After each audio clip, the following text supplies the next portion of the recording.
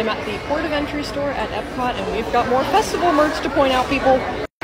This is a look at the Tiana collection. I love the shirt of her. The sleeves are really cute and like ruffled. There's her with some beignets.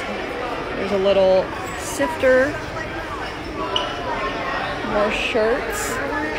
And then also, what is this? It looks like a little dish towel and a cute little like dish there and more Figment merch. There are some plates, a very, very fun tumbler, and probably my favorite thing is the Figment apron here. I love the colors of it, love how it looks like Figment, definitely something that I would wear. And then also more magic bands if you wanted the Figment magic band. Also a Figment t-shirt. Look at him, he's poking out of this little pocket here. Very cute and all in the port of entry store. Right there? Okay.